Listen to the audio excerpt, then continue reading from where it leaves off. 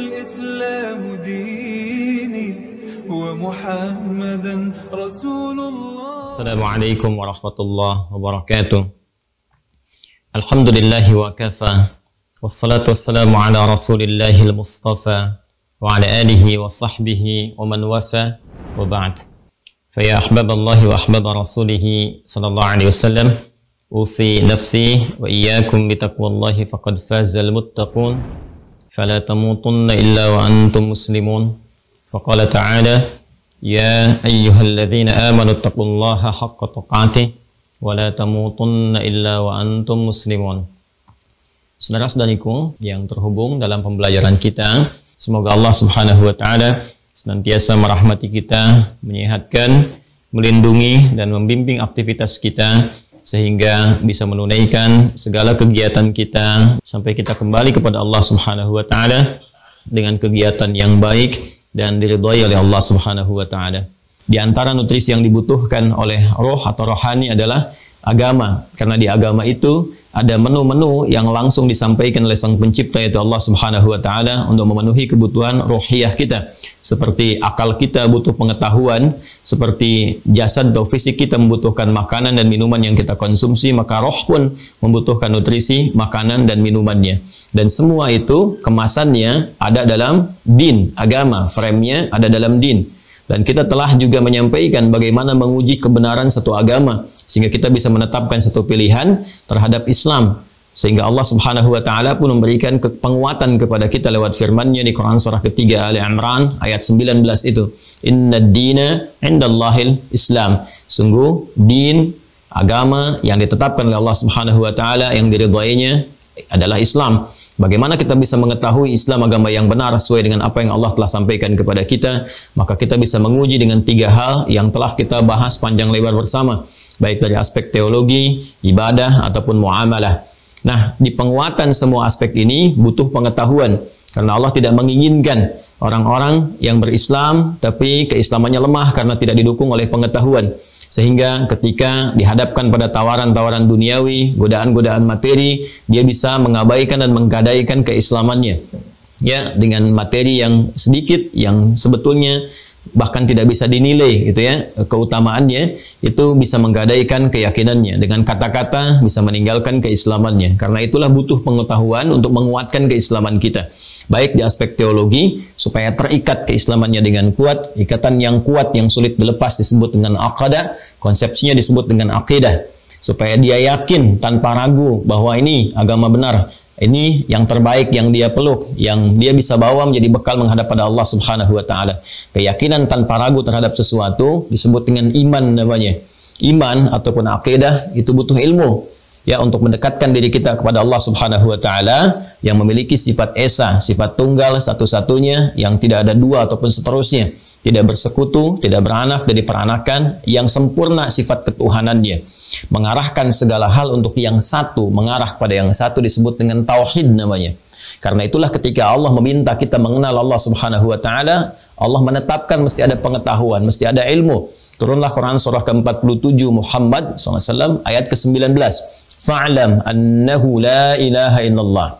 Maka ketahuilah untuk mengetahui itu butuh dasar pengetahuan. Maka kalau kita terjemahkan ke dasar katanya melalui pendekatan ilmu saraf dan balaghah, kita temukan kemudian pemahaman tafsir dari ayat ini fa'lam. Maka haruslah kamu punya pengetahuan. Cepatlah engkau ketahui, miliki bekal pengetahuan yang cukup. Annahu la ilaha illallah untuk menetapkan dan meyakinkan pada dirimu kan punya engkau argumentasi yang kuat untuk menetapkan bahwa tiada Tuhan yang layak untuk disembah, dipertuhankan kecuali hanya Allah saja. Karena itulah para ulama kemudian meresum, mengambil intisari dari pengajaran Al-Quran yang disampaikan melalui hadis-hadis Nabi Sallallahu Alaihi Wasallam, bab yang terkait dengan penguatan iman, sehingga bisa membuat satu ikatan yang kuat dalam jiwa kita, yang mengikat kemudian keyakinan tanpa ragu itu, sampai kita bawa pulang, sampai wafat, sampai menghadap kepada Allah Subhanahu Wa Taala. Nah, ilmu yang terkait dengan itu semua disebut dengan ilmu tauhid. Bila kita mengambil makna untuk mengarahkan semua aktivitas tujuan demi Allah yang Esa, yang Ahad, wahada yuwahidu tauhidan, mengarahkan segala hal aktivitas kita untuk menuju pada ridha Allah Subhanahu wa taala. Ya, kemudian keyakinan yang disebut dengan iman, ya, atau ikatan yang disebut dengan akidah, maka ada yang menyebut dengan ilmu akidah. Ya, kemudian ini adalah pemahaman terbesar dalam agama karena apa pun yang kita kerjakan tanpa iman dasar yang pertama maka tidak punya nilai di hadapan Allah Subhanahu wa taala. Anda ingin bersedekah, membantu orang lain, ya kan? Atau misalnya ingin berderma atau bahkan menunaikan salat atau bahkan berpuasa tapi tidak ada imannya ya nggak ada akidah yang meresap dalam jiwanya maka tidak ada fungsinya tidak ada nilainya di hadapan Allah Subhanahu wa taala. Maka iman menjadi pondasi yang paling dasar ya harus diketahui dipahami yang paling besar yang paling utama dalam aspek keilmuan kita. Memahami sesuatu sampai dengan mengerti disebut dengan fikih hal yang terbesar yang paling agung yang paling harus kita ketahui lebih awal disebut dengan akbar namanya. Maka Imam Abu Hanifah menyebut ilmu ini juga dengan fikul akbar jadi ada fikhul akbar, pemahaman yang terbesar dari semua fikih yang harus kita pahami, melebihi fikih-fikih terapan dalam kehidupan. Kemudian terkait keyakinannya disebut dengan iman, ikatannya disebut dengan akidah, arahnya disebut dengan tauhid. Jadi kalau Anda menemukan ilmu tauhid, ilmu akidah misalnya, kemudian fikhul akbar, ya ilmu iman, yaitu semua mengarah pada pemahaman yang satu, yaitu pemahaman penguatan pada aspek teologis untuk mendekatkan diri kita secara langsung hubungan akidah dengan Allah Subhanahu wa taala. Ini yang harus terikat kuat dan dipesankan oleh Nabi sallallahu alaihi wasallam dalam setiap kesempatan Jumat khususnya atau dalam ta'lim-ta'lim beliau dengan mengutip Quran surah ketiga Ali Imran di ayat 102 itu. Allah berfirman, "Ya ayyuhalladzina amanu, hai orang-orang yang telah menguatkan iman, telah beriman, ya, telah yakin tanpa ragu dalam jiwanya, Ittaqullaha haqqa tuqatih, tingkatkan ketakwaanmu kepada Allah dengan cara yang benar, kan? Wala tamutunna illa wa antum muslimun dan janganlah engkau wafat kecuali engkau dalam keadaan berislam. Jadi membawa Islam dalam kehidupan kita. Nah, sekarang apa yang dimaksud dengan Islam? Dari Islam itu apa yang kita temukan terkait dengan iman? Dari iman itu nanti kita akan turunkan pokok-pokoknya sehingga terkorelasilah pembahasan kita di subuh ini dengan tema dasar-dasar atau pokok-pokok keimanan. Ini pengantar yang ingin saya sampaikan sampai tiba pada titik pemahaman yang akan kita bahas bersama. Ya, baiklah teman-teman sekalian, sebelum eh, kita masuk kepada uh, uraian tadi tentang turunan Islam sampai ke pokok iman, saya akan bacakan dulu di pembuka kitab supaya uh, ada bagian kitab yang saya janjikan kita mulai bisa baca. Nanti ada kitab-kitab pokok dasar, ada turunan-turunan yang kemudian kita bisa uh, tunjukkan juga ya. Ini kita akan mulai dengan kitabnya uh, Syekh Sayyid Sabiq ya. Judulnya Al-Aqaid Al-Islamiyah. Ini judul kitabnya ya. Al-Aqaid Al-Islamiyah karya Syekh Sayyid Sabiq. Ya, saya sudah sampaikan juga di awal jumpa. Ini nanti akan diuji juga ya jadi pas di ujian itu, yang ujian tulisan, termasuk di lisan nanti kalau tanya jawab, saya akan juga tanyakan kepada para mahasantri, Anda dapat kitabnya dari mana, halaman keberapa, ya seperti apa dan sebagainya. Nanti setelah pembahasan eh, ini, saya akan coba juga eh, scan bagian pembahasan kita dan untuk yang selanjutnya, sehingga nanti saat kita tersambung seperti ini, Anda juga memegang kopinya Ya, jadi nanti kalau saya bacakan Anda ikut baca juga. Jadi kita belajar e, banyak hal insya Allah ya. Belajar pemahaman, belajar baca juga e, kitab secara langsung sehingga bisa diterapkan nanti dan diajarkan kembali kepada kolega-kolega kita. Baik, sekarang teman-teman sekalian kita e, masuk di halaman yang ketujuh ya di kitab Al-Aqaid Al-Islamiyah langsung ke pokok bahasannya. Jadi kalau mukaddimah saya lewati dan ini beberapa poin-poin pembahasannya, kemudian kita akan uh, masukkan kepada aspek yang pokoknya langsung. Bismillahirrahmanirrahim. Al-Islamu imanun wa amal. Ya, Islam itu Islam itu perpaduan antara iman dan amal. Saya ulangi ya, Islam itu perpaduan antara iman dan amal. Al-Islamu huwa dinullahi alladhi awhahu ila Muhammadin salawatullahi wa salamuhu alaihi wa huwa imanun wa amal. Islam itu ialah dinullah, din Allah Subhanahu wa taala. Saya lebih e, berkenan menyebut din ya dibandingkan dengan agama. Walaupun agama itu sering menjadi terjemahan kata din tapi tidak mewakili secara keseluruhan. Ya, agama kan dari bahasa Sanskerta ya. A-nya tidak, agama itu rusak jadi konsepsi yang membuat kita itu terjaga dari kerusakan. Bagaimana supaya pandangan tidak rusak, lisan bicara tidak rusak, berjalan tidak rusak, gitu kan? Nah, itu dalam bahasa Sanskerta itu disebutkan dengan istilah agama, ya. Tapi din lebih luas sifatnya daripada itu. Ya, din itu bukan sekedar menjaga kita agar tidak berbuat rusak dalam kehidupan, tapi juga memberikan sebuah konsekuensi dari perilaku penjagaan kita itu untuk mendapatkan penilaian di sisi Allah Subhanahu wa taala. Ya, jadi bukan sekedar misalnya kata-kata kita harus baik, ya, jangan berkata yang rusak, yang kotor. Nah, jadi apa balasan yang didapatkan ketika kita menjaga itu? Itu punya poin di hadapan Allah. Ya, karena itu orang Arab mengatakan kama tadinu tudan. Kama tadinu tudan sebagaimana engkau berdin, ya kan, berekspresi, bersikap dan sebagainya, seperti itulah engkau akan diapresiasi oleh Allah. Jadi di sini ada feedbacknya, ada timbal baliknya dari Allah Subhanahu wa taala. Ya kan? Allah meminta kita melakukan sesuatu, ya kan? Hak Allah kita penuhi kewajiban kita untuk mengerjakannya. Tapi timbal baliknya apa sebagai hak kita? Kan keadilan Allah menetapkan hak bersanding dengan kewajiban. Ketika kita mengerjakan sebuah kewajiban, agama itu kan konsepsi kepatuhan antara uh, kita makhluk kepada Allah Khalik gitu kan? Allah perintahkan kita kerjakan. Sekarang kalau kita kerjakan, kita mendapatkan apa haknya? Kan ada hakullah yang ada ibad, ada hakul ibad alal uh, Allah. Ada haknya Allah dari hamba untuk kita menyembahnya dengan sempurna, ya itu kewajiban kita. Nanti ada hak kita dari Allah yang diberikan. Ya, karena itulah kemudian konsepsi dalam agama mengatakan kama tadinu tudan. Sebagaimana engkau mengerjakan perintah itu dengan baik, mengabdi kepada Rabbmu, maka engkau pun akan dibalas. Nah, di agama itu, itu konsepsinya hanya sebatas menjaga. Sedangkan dalam din ada frame timbal balik. Ketika kita bisa menjaga semua itu, melaksanakan perintah Allah, menjauhi larangannya, maka ada kemudian apresiasi yang Allah berikan kepada kita. Itu dalam bentuk pahala, ajrun. Itu nilainya nanti di akhirat, bukan dunia. Dunia itu dapat keberkahannya sebagai bekal hidup. Nah, semua pekerjaan kita yang kita kerjakan demi mematuhi Allah, itu dianggap baik oleh Allah kemudian ya menjadi saleh. Karena itu perbuatan disebut dengan amal, sifat baiknya disebut dengan saleh. Nah ini ketika amal soleh dikerjakan punya nilai, nilainya disebut dengan hasanah namanya. Saya ulang ya supaya lebih kita kita kita pahami ya. Dalam din, din ya, inna dina indallahil Islam. Islam itu din kita. Din itu bukan sekedar menjaga kita untuk berperilaku dengan baik, tapi ya, ada akibat yang kita dapatkan, ada feedback timbal balik dari semua penjagaan yang kita lakukan itu, perbuatan kita mendapatkan penilaian dari Allah. Ya, penilaian itu nanti yang melahirkan pahala. Ketika seseorang mengerjakan karena Allah dengan baik, perbuatannya, perbuatan dalam bahasa Arab disebut amal namanya. Ketika dinilai baik oleh Allah menjadi saleh, maka dari sini muncul istilah amal saleh. Jelas ya? Nah, amal soleh yang dikerjakan oleh seorang hamba dapat poin dari Allah, dapat penilaian. Poinnya disebut hasanah namanya. Ya, poinnya disebut apa? Hasanah. Saya coba uraikan begini ya. Ya.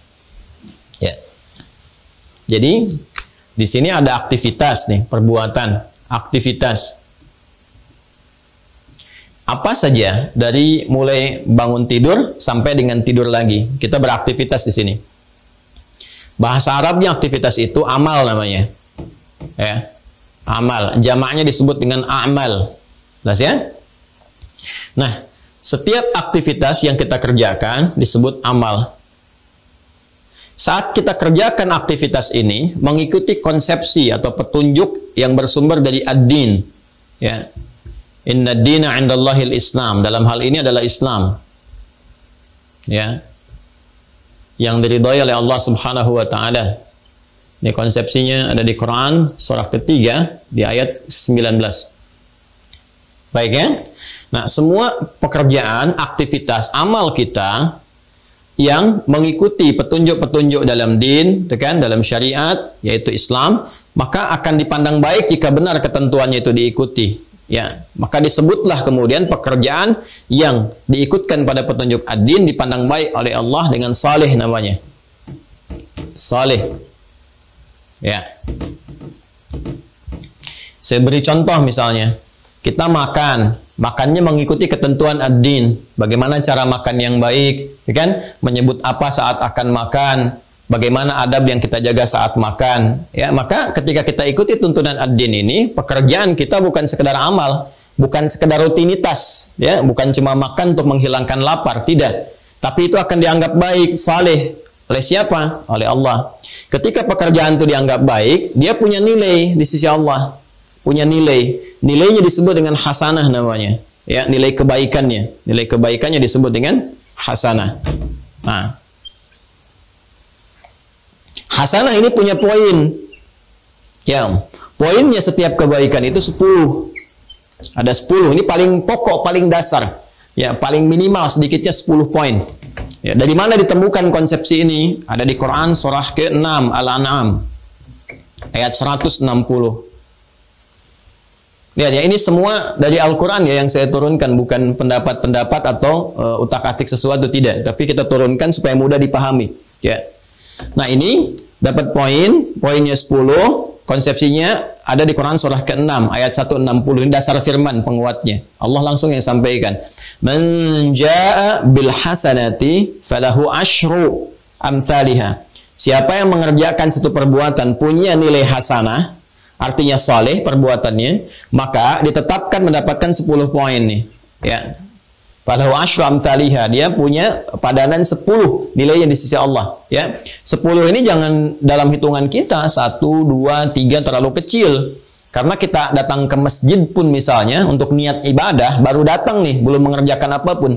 Kita belum sholat misalnya ya kita belum etikaf belum macam-macam baru datang aja. Tapi niatnya untuk ibadah bergantung kepada niat. Karena itu Nabi katakan innamal a'malu bin niat itu punya poin 25 jarak satu keduanya kata Nabi di hadis Muslim itu 500 tahun. Dua ketiganya 500 tahun. Tiga keempatnya 500 tahun Ya, ini nilai standarnya. Jadi Anda bayangkan kalau mengambil analogi yang hadis yang tadi, jarak satu kedua itu begitu mahal nilainya. Ya, begitu tinggi di sisi Allah Subhanahu wa taala. Ya, bacaan Quran kan setiap hurufnya 10 kan? Man qara'a harfan min kitabillahi falahu asyru hasanat jamaknya. Ya, selalu hasanah, hasanah, hasanah. Siapa yang membaca satu huruf dari Al-Quran, kata Nabi di hadis riwayat At-Tirmidzi, ya, satu hurufnya itu setara dengan 10 kebaikan. Satu hurufnya loh, teman-teman sekalian. Jadi kalau kita baca alif lam mim itu nggak dihitung satu huruf, tapi alifnya punya nilai sendiri, lamnya punya nilai sendiri, mimnya punya nilai sendiri, ya kan? Nah ini nanti konsepnya seperti ini. Ya mendapatkan poin di sini. Nah ini yang disebut dengan ajrun. Ya ajrun lahum ajrun ghairu mamnun. Kumpulan ini yang disebut dengan pahala namanya. Ya, di perbuatan sifat baiknya disebut dengan hasanah, poinnya ini, nah ini yang disebut dengan ajrun. Ini yang kita kumpulkan. Nah, inilah poin bekal kita menghadap Allah Subhanahu wa taala. Ya, poin bekal kita untuk menghadap Allah Subhanahu wa taala. Jadi, semua pekerjaan dunia kita akan menjadi rutinitas tanpa adanya ini. Ya. Tanpa adanya acuan ini, ad-din ini. Ini konsepsi yang memberikan timbal balik karena itu disebut dengan ad-din, bukan sekedar agama. Jelas ya? Nah, ini yang kita bawa pulang nih. Jadi yang kita bawa pulang itu bukan harta yang kita kumpulkannya. Ya, mohon maaf, bukan kendaraan, bukan rumah yang kita tinggali, pakaian yang kita koleksi, handphone paling mewah yang kita dapati, bukan itu. Ya, jangankan ke akhirat, ke alam kubur pun nggak kita bawa. Demi Allah saya katakan silahkan cek sebagai muslim misalnya khususnya kita yang beriman apakah ada di antara kita kemudian meninggal dikuburkan dengan handphonenya kan tidak ya kan pakaiannya kan tidak Apakah ada yang meninggal dikuburkan dengan mobil termewah yang dia koleksinya? Kan tidak. Ya bahkan kain kafan yang kita kenakan pun kan nggak ada kantongnya. Coba cek. Ya kan? Nah karena itu penting bagi kita untuk menyadari bahwa ada sesuatu yang harus kita yakini, kita pahami. Karena itu iman, yakin tanpa ragu. Ya, kalau pulang nanti bawa bekal apa? Logika sederhananya begini. Kita berpindah pada satu tempat, taruhlah mudik misalnya. Gak usah jauh-jauh lah. Ya, saya tinggal di Bekasi misalnya. Saya akan mudik Taruhlah misalnya beda tempat sedikit ke Banten ya, atau ke Jawa. Lebih jauh lagi misalnya ada yang ke Sumatera sampai ke Papua. Mungkin tidak terjadi perpindahan ini tanpa bekal. Tidak mungkin kan? Bahkan sekarang ada syarat-syarat tertentu di masa pandemi. Harus antigen, ya terbang keluar harus PCR, harus macam-macam dan sebagainya. Nah, itu berpindah tempat yang sementara di satu wilayah saja yang tidak jauh, itu punya bekal tertentu, bekal khusus. Berbeda negara Anda harus punya visa. Untuk dapat visa harus punya paspor dan sebagainya. Ada syarat-syarat masuk, ada karantina, ada ini, ada itu. Itu baru sama-sama dunia. Jadi perpindahan dari satu tempat ke tempat lain itu menuntut adanya penyesuaian bekal. Sekarang kita akan berpindah kepada tempat yang dimensinya berbeda. Lebih jauh lagi. Keadaannya lebih kompleks. Tentu bekalnya tidak akan sama. Karena itulah saat kita pergi meninggalkan dunia ini dikatakan telah meninggal dunia. Artinya semua bekal-bekal yang terkait dengan keduniaan nggak bisa dibawa ke tempat ini. Dipahami ya? Ya, kita pun di Indonesia belum tentu kita bisa bawa bekal keluar kan? Ya. Karena ada kekhususan tertentu. Kalau kita terbang ke negara tertentu kan ada nih. Ini yang prohibited nih, yang nggak boleh dibawa nih, kan? Ini yang nggak boleh, ini yang nggak boleh, ini yang boleh, ini yang itu. Apalagi ke akhirat. Jadi ke dun di dunia saja ada ketentuan. Meninggal dunia, bekal-bekal dunia itu hilang. Kita tanggalkan, kita tinggalkan. Nah sekarang pertanyaannya, apa yang akan kita bawa untuk berpindah kepada dimensi lain itu? Tempat lain itu, tempat berpulang itu ketika kita meninggalkan dunia. Nah, di sinilah kemudian kita yakin, kita bertanya pada Sang Pencipta, Ya Allah, ketika saya pindah, apa yang harus saya siapkan? Allah jawab. Di sini kita mendapatkan kebenaran dan keyakinan akan risalah Islam. Tidak ada satupun, satu keterangan, informasi yang paling akurat, lengkap, transmisinya bisa dilacak dari setiap masa sampai ke sumber utamanya yang terang, benderang menjelaskan kepada kita tentang bagaimana kehidupan setelah kematian, cara wafatnya bagaimana, siapa yang mengambil nyawanya, apa yang terjadi saat meninggal dunia, ke mana kita pindah, keadaannya seperti apa, bekal yang dibawanya apa, kecuali dalam ad-dinul Islam. Silahkan dicek. Silahkan dicek. Nah inilah yang kita butuhkan. Nah, jadi yang saat kita pulang kembali kepada Allah ke akhirat itu, ini ad-din ini yang akan memberikan konsepsi petunjuknya. Ini yang harus dilakukan. Pedomannya seperti ini. Ya, jadi di sini saya katakan uh, saya lebih cenderung nanti untuk mendekatkan pada pilihan uh, kosakata ad-din gitu ya untuk uh, term pembahasan di konteks uh, terjemah agama itu. Walaupun juga uh, pembahasan tentang kata agama boleh jadi mengalami perluasan ya untuk pemahaman kita saat ini. Nggak ada masalah dalam perluasan-perluasan itu. Tapi penting saya jelaskan kenapa Al-Quran memilih diksi ad-din untuk memberikan gambaran kepada kita tentang apa yang telah kita uraikan itu. Karena itulah kita selalu bermohon kepada Allah, kita meminta berdoa, ya yang sangat familiar sekali. Doanya disebutkan di Quran, surah kedua Al-Baqarah, di ayat 201. Ya, e, paling kanan sebelah bawah di mushaf standar. Wa minhum may yaqulu rabbana atina fid dunya hasanah wa fil akhirati hasanah wa qina adzaban nar. Dan di antara sekian manusia yang berkehidupan itu, ada yang bermohon kepada Allah Subhanahu wa taala agar aktivitas dunianya memiliki nilai hasanah ini. Jadi bukan cuma rutinitas, ya, dia berharap makannya hasanah, tidurnya hasanah, berpakaiannya hasanah, ya. Walaupun namanya ibu hasanah, tapi kemudian dia tidak mengerjakan konsepsi ini, dia nggak dapat juga. Nah, hasanah ini yang melahirkan ajrun. Jamaknya disebut dengan ujur, ya, ujurun. Ya. Ini yang kita bawa pulang. Nanti hasanah ini akan tampak lagi di akhirat berupa pahala-pahala. Makanya kita katakan wa fil akhirati hasanah. Perbuatan dunia yang punya nilai hasanah yang bisa dibawa pulang sampai ke akhirat. Bukan cuma dianggap baik saja dunianya. Karena ada yang dapat dunia, ya, tapi akhiratnya nggak dapat. Kan di ayat 200-nya begitu. Wa minan nasi may yaqulu rabbana atina fid dunya. Nggak ada hasanahnya. Silakan cek. Ayat 200 yang mengatakan rabbana atina fid dunya wa ma lahu fil akhirati min khalaq. Ya, wa minan nasi may yaqulu di antara sekian manusia ada yang selalu harapannya itu mendapatkan dunia.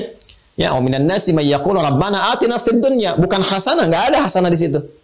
Ya, di situ orientasinya dunia saja. Event itu mengenakan misalnya dengan jubah-jubah keagamaan. Ya, dalam sebagian orang ada yang disindir oleh Al-Qur'an.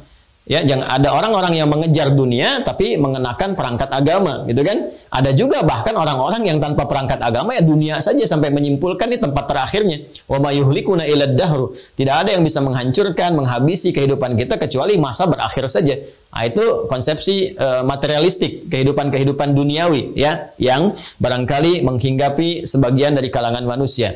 Bagi orang beriman tidak. Wa minhum may yaqulu rabbana atina fid dunya hasanah wa fil akhirati hasanah wa qina adzaban nar. Ketika ini terkumpul banyak, terkoleksi luar biasa, maka kesolehannya akan terkumpul, menepi dan mengikis kesalahannya. Jadi konsepsinya hasanah itu, ini akan nanti ditimbang. Ini yang ditimbang teman-teman sekalian. Kalau di hadis Muslim lewat sahabat Abu Hurairah kata Nabi, "Tu'khadhu min hasanati." Ya. Jadi ini diambil dari kebaikannya akan dipasangkan nanti dengan keburukannya. Kalau di sini hasanah baik, lawannya sayyi eh, su nanti. Su ya. Ini keburukannya nanti menjadi sayyiat jamaknya. Sayyiat. Ya, sayyiat. Ya, jadi ini bentuk tunggalnya kalau berbuat salah sekali, ini su namanya. Dia ada amal saleh nilainya hasanah, ada amal salah ini su disebutnya oleh Quran. Misalnya Quran surah keempat An-Nisa ya kan di ayat yang ke-17 ya innamat taubatu 'ala Allah lil ladzina ya'maluna su'a bijahalatin. Ini su ya. Kemudian Quran surah ke-12 Yusuf ayat 53 ya wa ma ubarri'u nafsi inna nafsa la'amaratun bis-su' illa ma rahima rabbi Jadi kalau su'nya jadi banyak jadi sayyiat namanya. Ya, di ayat 18-nya walaisatit taubatu lil ladzina ya'maluna sayyiat. Nah, ini nanti akan ditimbang. Kata Rasulullah SAW ini di hadis Muflis namanya dia di Sahih Muslim itu akan ditimbang antara kebaikan dengan keburukannya. Jadi nanti kebaikan menutup keburukan, kebaikan menutup keburukan. Jadi kalau kita banyak koleksi hasanahnya, ujurnya banyak, ini akan menepikan salahnya. Ketika salahnya itu mulai dikikis, hilang, hilang, hilang, hilang, tersisa kebaikannya, maka dia akan berpotensi mendapatkan rahmat Allah terhindar dari ancaman hukuman neraka wa qina. Maka itu kita mohon dari sejak di dunia ya Allah, mohon berikan ridha kepada amalan kami sehingga terkumpul hasanah dengan baik, bisa menutup sayiat dan terhindar dari ancaman neraka. Ya. Nah, ini konsepsinya. Semua ini ditemukan di dalam apa? Islam. Untuk mendapatkan ini, karena din nyambungnya ke Islam, inna dina indallahil Islam, ini ayatnya. Nah, sehingga untuk mendapatkan ini semua dan kita punya keyakinan yang kuat disebut tadi dengan iman, dengan kita harus mengacu pada panduan pokok yang disampaikan dalam din kita. Apa itu? Islam. Karena itulah Islam mengatur tata kelola kehidupan kita bahkan dari bangun tidur sampai tidur lagi. Ya, saya sering katakan dan tanyakan kepada Anda semua, silahkan Anda bandingkan dan ditemukan di mana ada din di muka bumi ini, di dunia ini yang kita dapatkan pengaturan, pedoman kehidupannya yang dibawa dari din itu dari mulai bangun tidur sampai tidur lagi. Ya, di Islam kita temukan, silahkan cek bangun tidur kita sudah punya arahan. Begini caranya, lewat doa itu kan, seperti saya telah sampaikan. Doa itu bukan hanya kalimat yang menjadikan perbuatan jadi ibadah. Bukan hanya itu. Tapi isi doa itu bimbingan kita bagaimana mengerjakan perbuatan yang sedang kita lakukan itu. Ya, bangun tidur kita punya doanya. Bahkan akan tidur pun doanya beda dengan bangun tidur. Makan kita punya doanya sendiri. Ya, berpakaian punya doanya sendiri. Masuk toilet ada doanya, keluar toilet ada doanya. Masuk masjid, bekerja, keluar masjid dan sebagainya. Semua ada doanya. Ya bahkan urusan mau meninggal pun ada bimbingan doanya, ya kan? Masya Allah gitu. Jadi semuanya uh, tersusun dengan sangat sempurna. Ini. Nah, konsepsi berislam ini, teman-teman sekalian, ini setidaknya harus terpenuhi dua hal yang paling pokok. Jadi pedoman dalam Islam itu ada dua yang paling utama, ya, yang membimbing kita mendapatkan apa yang telah kita uraikan tadi. Nah, di Syekh Said Sabik menyebutkan dalam kitab Al-Aqaid Al-Islamiyah, ya, itu dua pokok ini disebut dengan imanun, okay, wa amal. Ya, iman dan amal. Jadi kalau kita menyebutkan Islam, Islam, Islam, orangnya disebut dengan Muslim. Pernah saya ajarkan dulu kan? Kalau ada formulasi I A I A I A, pasti orangnya MUI. Ya ingat ya, kalau ada i a i a i a ya a-nya panjang di ujungnya. I a i a orangnya itu MUI, rumusnya MUI. Ya, nanti ada dalam waktu dekat insya Allah ada buku saya e, pembelajaran bahasa Arab cepat. Ya, e, nanti insya Allah akan disampaikan kepada eh, teman-teman pembelajaran bahasa bahasa Arab cepat nanti e, kita kita tunjukkan ya. E, IA seperti contoh Islam, kan? Iman, ihsan. Nah, orangnya pasti mu'i. Ya, Islam, Muslim, iman, mukmin, ihsan, muhsin, ikhlas, mukhlis. Jelas gampang ya? Baik ya, gampang ya. Nah, ini teman-teman sekalian, kembalikan ke sini, kembalikan ke sini. Nah, dalam konsepsi kita berislam dan kita disebut muslim, itu nggak akan lepas dari ini. Jadi kalau kita mau berislam, benar Islamnya, maka perpaduan iman dan amal itu harus tersemai dan tertanam kuat dalam diri kita. Nggak mungkin orang Islam itu nggak ada iman, itu mustahil. Ya nggak mungkin orang beriman itu nggak ada amalnya ya itu pun mustahil gitu. Jadi keduanya itu pasti saling bersatu. Karena itulah Said Sabik menyatakan al-Islamu imanun wa amal. Islam itu konsepsinya harus menyatukan memadukan antara iman dengan dengan amal. Ya, Al-Islamu dinullahi alladhi auhahu ila Muhammadin salawatullahi wassalamu alaih. Ya, Islam itu adalah din. Ini dia, din. Terjemah kita kita sebut dengan agama gitu kan. Din yang Allah wahyukan risalahnya kepada Nabi Muhammad sallallahu alaihi wasallam. Ya, jadi diberikan definisi terlebih dahulu kalau kita ingin mengatakan tadi kan konsepsi yang benar kata Allah e, din yang benar itu Islam. Bagaimana kita bisa menemukan Islam? Maka dijawabkan oleh beliau disampaikan untuk menemukan Islam itu kita lihat ya bagaimana Allah menyampaikan risalah kepada siapa risalah Islam itu disampaikan? Maka diterangkan wa dinullahi alladzi auhahu ila Muhammadin sallallahu alaihi wasallam jadi din Islam ini adalah din yang diwahyukan oleh Allah Subhanahu wa taala diberikan bekal risalahnya kepada Nabi Yuna Sayyidina Muhammad sallallahu alaihi wasallam kepada Nabi Muhammad sallallahu alaihi wasallam. Maka kita lacak Bagaimana Rasulullah SAW mengajarkan kepada kita tentang nilai-nilai keislaman. Ya, konsepsinya seperti apa. Dihimpun oleh para ulama, ajaran Nabi itu mengumpulkan dua hal ini. Ya, kalau kita ingin berislam, petunjuk dari Rasulullah SAW, maka pokoknya adalah iman, kemudian apa? Amal. Seperti apa turunannya? Nah, kita bacakan kembali. Ya, Wahwa imanun wa amal dan yang dimaksud Islam itu adalah perpaduan antara iman dengan amal. Nah ini nanti yang saya terangkan di awal itu, itu sebetulnya saripati dari kitab ini pun sudah saya terangkan. Ya karena itu sering kali dalam ta'lim saya sebetulnya menyampaikan saripati, intisari, intisari dan kalau Anda merujuk ke kitab Anda akan temukan dari beberapa referensi-referensi kitab. Hanya saya awalkan untuk pengenalan gitu ya. Kadang-kadang ada yang suka bertanya, Ustaz, eh, kitabnya di mana, referensinya di mana gitu ya. Nanti kita dalam pengajaran khusus ini kita buka satu persatu. Baik, kita teruskan. Wal imanu yumathilul aqidah. Ya, sedangkan iman itu tergambar dalam akidah. Ya, makanya saya sering katakan dari awal kan, ya, di pembuka kita kalau kita temukan kata iman itu e, nafasnya sama dengan akidah. Wal imanu yumathilul akidah sedangkan iman itu adalah representasi atau e, senafas dengan akidah. Jadi kalau kita sebutkan iman, kemudian kita dapatkan kalimat akidah itu punya makna yang sama. Ya, jadi kalau iman dari sisi kekuatannya, keimanannya tanpa ragu, keyakinan tanpa ragu, nah itu yang mengikat dalam diri kita. Kita ikat pada jiwa kita, kita ikat dalam hati kita, maka ikatannya itu disebut dengan akidah. Jadi kalau ada kata iman, kata akidah itu adalah penamaan dengan makna yang sama, ya. Wal usul allati taqumu 'alaiha syara'i'ul Islam wa anha tanbathiqu furu'uhu. Dan inilah pokok dasarnya. Ya, pokok dasar dari syariat-syariat, amalan-amalan dalam Islam yang dari sini kemudian terpancar semua pancaran-pancaran e, amal atau turunannya. Maksudnya apa? Maksudnya tadi kita katakan dari awal Islam itu pokoknya ini, dasarnya yang pertama, iman. Kemudian buahnya ini dipadukan dengan amal. Seperti ini. Nah, iman ini pokoknya, teman-teman. Iman ini pokoknya. Jadi kalau, tadi kita kembali ke konsepsi ini, perpaduan antara iman dengan amal ini, kalau kita padukan iman ini pokoknya, amal ini aktivitas yang dikerjakan oleh manusia pada umumnya, dari bangun tidur sampai tidur lagi.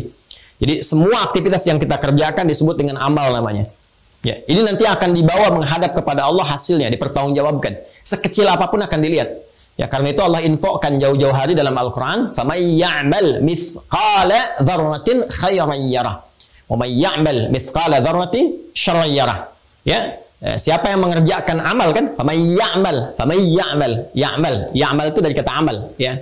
Amila ya'malu. Ya, faman ya'mal, siapa yang mengerjakan sedikit pun aktivitas di dunia ini, jangan dikira akan terabaikan begitu saja. Itu punya nilai di sisi Allah. Baik dibalas kebaikan, buruk pun kemudian ada evaluasinya.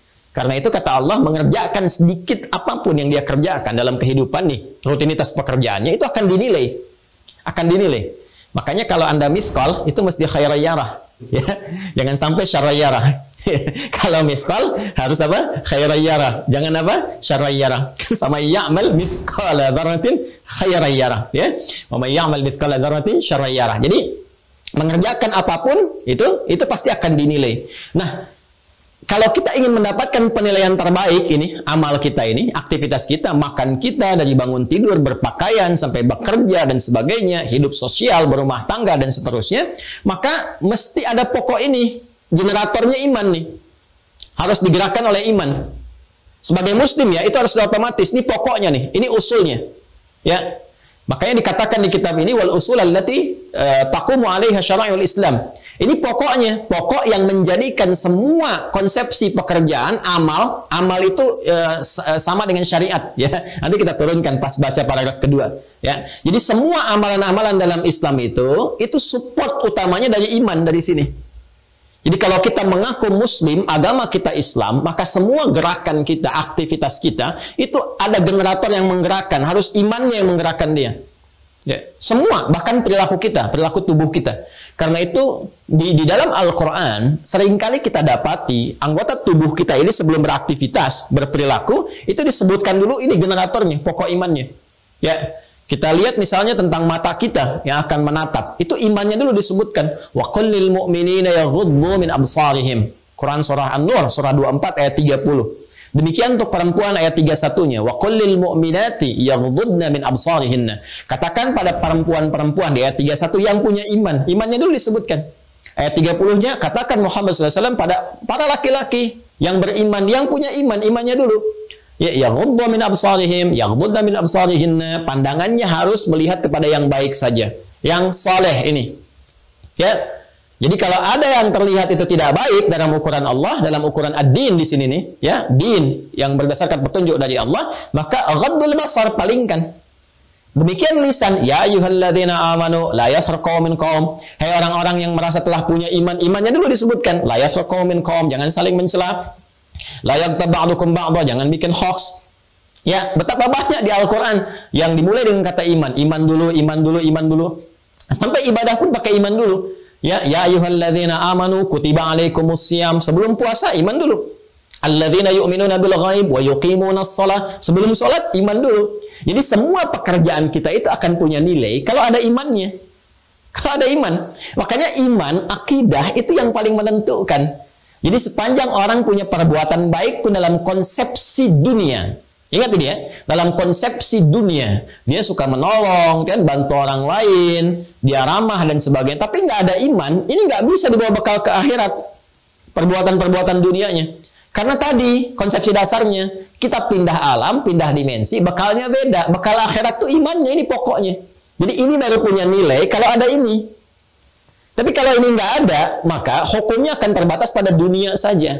Dan keadilan Allah, kalau Anda tanya, di mana keadilan Allah? Allah adil. Karena Anda mengerjakan perbuatan untuk dunia saja, maka dibalasnya pun di dunia. Adil kan? Ya, Anda punya pekerjaan untuk yang sekarang saja tidak menyiapkan untuk besok. Balasannya kan yang sekarang. Ya, Anda kalau nggak lembur, digajinya kan gaji yang biasa saja. Kalau lembur baru dikasih lembur kan? Masa Anda nggak lembur pengen minta balasan lembur? Kan tidak. Ya kan?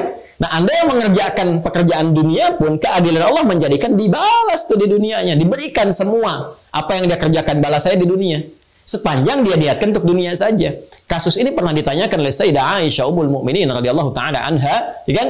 Kepada Rasulullah SAW, "Ya Rasulullah, ada si fulan orang baik, kan? Namun dia belum beriman. Dia mengerjakan kebaikan, suka bantu ini, donasi ini, donasi itu. Maka bagaimana status dia dalam pandangan Allah di akhirat bagaimana? Gitu kan? Kalau ada sikap yang seperti ini. Maka Nabi kemudian diberikan oleh Allah Subhanahu wa taala informasi lewat turunnya satu ayat di Quran surah ke-25 Al-Furqan. Ayat 23. Ya. Quran surah 25 ayat 23. Ini harus hafal ini ya. Nanti Anda kalau ditanya bagaimana kalau ada orang yang non muslim atau dia belum beriman, saya kan dia banyak berbuat baik, Apakah tidak punya nilai di hadapan Allah kebaikannya? Apakah masuk neraka? Ya kan? Dan sebagainya. Nah, ini jawabannya ini. Anda bisa katakan dulu, Alhamdulillah pertanyaan Anda itu sudah diwakili oleh oh, Sayyidah Aisyah 15 abad yang lalu. Kan? Nah, jadi agak terlambat sebetulnya itu ditanyakan ya. Tapi kita bisa jawab. Saking adilnya Allah, Allah membalas semua itu. Allah berfirman, "Wa qadimna ila ma min amalin faj'alnahu haba'an manthura." Wa qadimna ila ma'amilu min amal. Nah, solehnya nggak ada di situ. Solehnya nggak ada. Karena soleh itu baru muncul kalau ada iman. Baru amalnya. Ya, wa qadimna ila ma'amilu min amalin. Dan jika pun ada seorang hamba, tapi dia belum beriman, ya kan? Tapi dia banyak berbuat baik, maka kami akan balas dengan cepat. Itu qadimna, kami dahulukan. Kami percepat.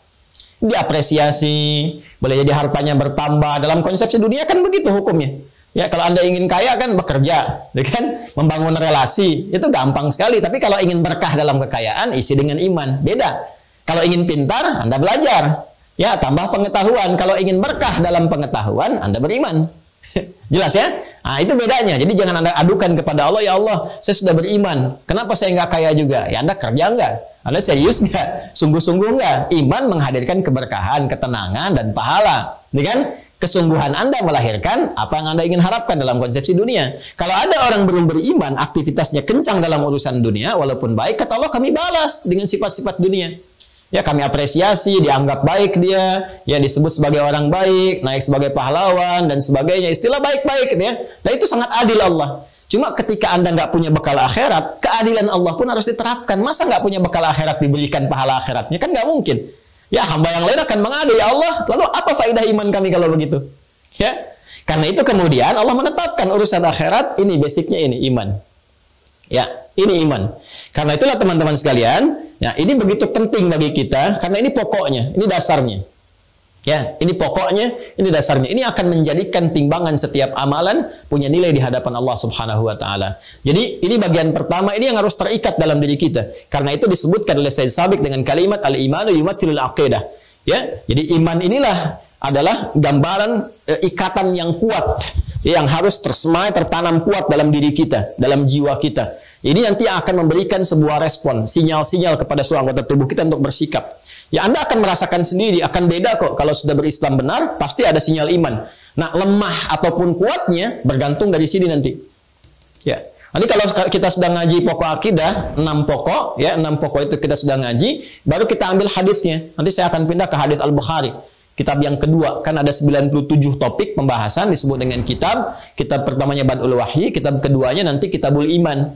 Nah, supaya iman sinyalnya ini kuat, kan biasanya kan e, semua sinyalnya beda-beda. Anda kan kalau punya handphone kan nggak semua sinyalnya kuat tuh, ya. E, kalau Anda misalnya mohon maaf ya, kalau sinyal sedang lemah kan Anda akan nyari-nyari ya. Ya kadang-kadang saya unik juga ya Allah tampakkan karakteristik spiritual kita itu lewat perilaku kita tuh. Ya, tapi anehnya kadang nggak konsisten urusan dunia bisa tajam akalnya, urusan akhirat tuh bisa lemah gitu. Ya saya bingung juga kadang-kadang kok bisa terjadi. Anda kalau sedang lemah sinyal tuh handphone kan cari sinyal kan. Nelpon nampak keluar sampai ngasih ekspresi. Kamu ini kalau bisa begini begini padahal orangnya nggak ada di depan. ya, kamu ini lihat nggak sih tangannya begini tuh, tapi orangnya nggak ada. ya, ya, terus dia bisa cari sinyal tuh, cari sinyal sana sini sampai dia menemukan sinyal yang kuat. Sampai dia katakan sebentar ya sinyalnya lemah, aku keluar dulu. Ya kan? Nah Allah kan telah tebarkan semua sinyal hidayah. Ada yang lewat telinga, lewat mata, dengar adzan, lihat orang sholat, lihat orang baca Quran, lihat orang beribadah macam-macam. Kemudian orang yang punya iman pun dikasih sinyal lewat amal, dikuatkan. Nanti ada 57 hadis Nabi Sallallahu Alaihi Wasallam di Kitabul Iman di Sahih Al Bukhari yang membimbing kita untuk mendapatkan penguatan sinyal. Nah itu harus kita cari. Masa sinyal dunia kita cari-cari sampai ganti handphone, dicas dengan baik. Agama yang membawa keabadian kita di akhirat, mempertaruhkan muara hidup kita yang terakhir. Kenapa nggak pernah dicas? Kan? Kenapa nggak pernah dikuatkan sinyalnya? Nah ini kembali ke sini. Nah, jadi semua hal ini akan bergantung kepada pokok. Kita ikat kuat. Ikatan inilah yang disebut oleh Syekh Sabik dengan mengatakan al-imanu yumathil aqidah. Ya, wal usul allati taqumu alaihi syara'il Islam dan pokok pokok yang menjadi pokok tumbuhnya semua amalan punya nilai di hadapan Allah dalam konsepsi Islam. Jadi kalau nggak ada ini, ini akan jadi rutinitas amalnya. Amalul adi. Ya, amal rutinitas, perbuatan rutin saja yang tidak punya nilai di hadapan Allah. Belum tentu salah. Ya, kalau kita makan dari yang halal itu kan eh, mohon maaf halal nih, dapat saya uang dapat 5000 ribu, saya belikan makanan, ya kan? Tapi saya nggak ikuti petunjuk makannya berdasarkan cara Islam. Bagaimana cara makan yang baik? Ya, khudh biyaminika ma yalika, ambil dengan tangan kananmu yang paling dekat denganmu sambillah sebut nama Allah sebelum makan, ya kan? Kita bacakan bismillahirrahmanirrahim atau bismillah atau kita bacakan Allahumma barik lana fima razaqtana wa qina adzabannar dan sebagainya. Ya, kita ucapkan itu, kita lakukan dapat nilai hasanah 10 poin. Enggak kita lakukan walaupun makanan itu baik, halal, enggak punya nilai, rutin saja.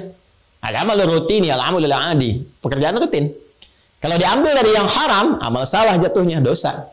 Ya, jadi kalau kita nggak kerjakan petunjuk Islam, walaupun hasil yang kita dapatkan baik, nah itu nggak punya nilai pahala, juga nggak jatuh dalam dosa. Jadi standar saja, nggak punya nilainya biasa. Jelas ya? Jadi yang dimaksudkan ini pokok yang darinya ya akan terpancar segala amalan-amalan dan punya nilai dalam Islam yang disebut dengan hasanah tadi. Jelas ya? Wa anha tanbathiqu furuhu dan darinya kemudian uh, ada muncul cabang-cabangnya. Nanti cabang-cabang iman ini nanti memunculkan uh, satu ranting-ranting cabang-cabang yang berupa amalan tadi. Makanya kita katakan uh, al-Islamu imanun wa amal. Jadi dalam Islam itu konsepsi dasarnya pokoknya adalah iman, dari iman melahirkan amal. Jadi nggak mungkin orang iman nggak beramal. Ya, sebaliknya orang beramal menjadi soleh tanpa iman pun tidak mungkin. Karena itu di Quran dua-duanya dipadukan. Iman menjadikan amal menjadi soleh. Jamaahnya disebut salihat. Ya, jadi kalau kita diberikan waktu untuk beraktivitas, amalan kita nggak dikerjakan karena iman, maka rugi kita. Karena kita nggak ngumpulkan poin itu, sedangkan kita bertarung dengan kematian. Ya, ya siapa yang lebih duluan nih mengumpulkan amalan atau kematian yang lebih dekat duluan, kita nggak tahu ajalnya kapan, atau kita menyiapkan amal-amal baik sehingga kita ketika kematian datang kita jemput dengan sangat indah.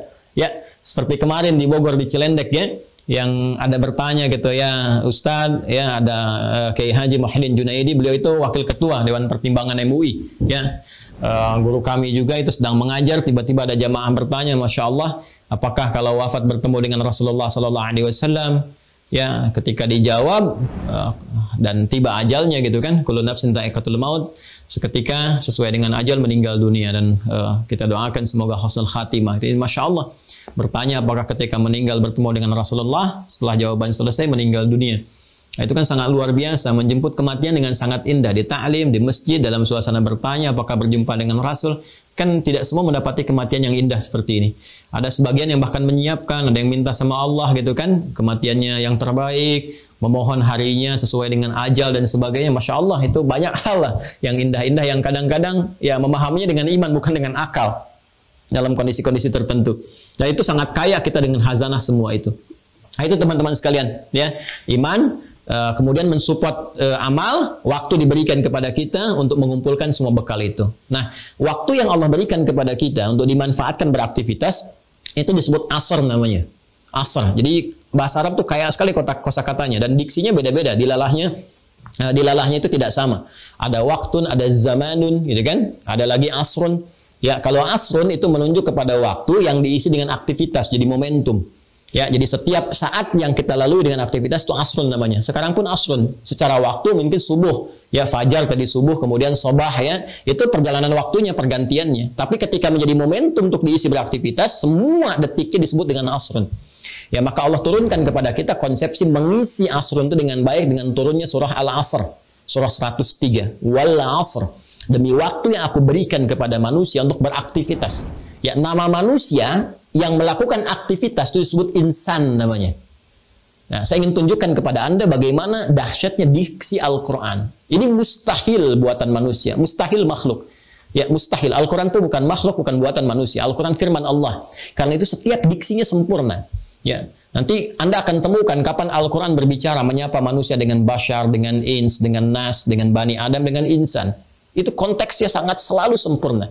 Wala asr, innal insan. Allah tidak mengatakan innal ins, innal bashar, innal insan.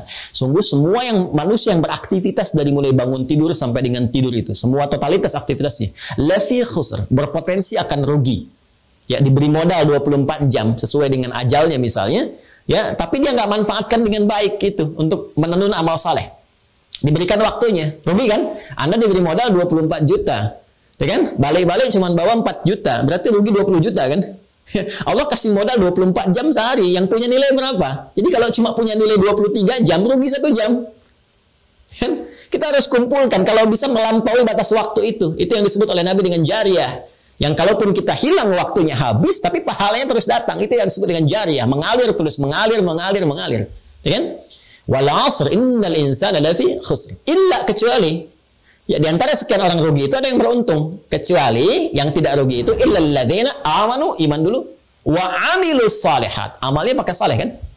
Illalladzina amanu ya, kecuali orang-orang yang beriman alladzina itu disebutkan 1080 kali dalam Al-Qur'an, itu ismul mausul ya dulu alal jam'il jam'iyah. Ya, itu e, kata sambung konjungsi menunjuk pada objek, kadang-kadang subjek gitu kan, tapi bentuknya jamak tanpa batas, holistik sifatnya komprehensif.